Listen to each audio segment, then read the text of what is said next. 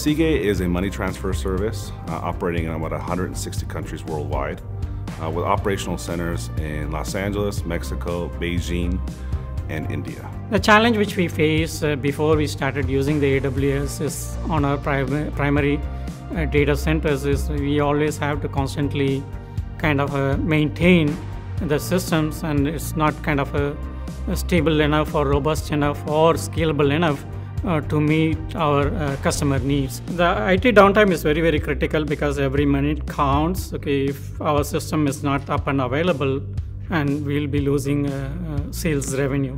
That's very critical for the company. We need to have the system up and running 24 hours all the time, 365 days. And so by migrating into AWS into the cloud, uh, we're able to provide uh, an environment where uh, our, our system internally would perform at its best. From a benefit standpoint, it's, uh, it's again, it goes back to the fundamental thing.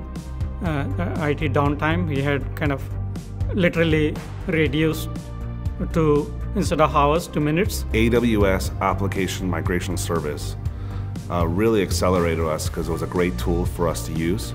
Uh, and it allowed us to get great speed uh, in moving our legacy system to the cloud. Uh, and furthermore reducing our costs. So the AWS platform really helped us in, in a few points. One was scalability, so allow us to expand across the globe uh, in a speedy manner. The second is really cost reductions around the organization, not maintaining servers or uh, data centers for us. And three, really providing stability to our customers, right? Having an uptime percentage uh, increase almost 5% allows our customer to trust us more uh, and allow us to build uh, those relationships with them as we uh, continue into the future. Customers who are able to send the money through Sigue, their receivers will get the money in no time. That's the assurance we always give the, our customers or our end users.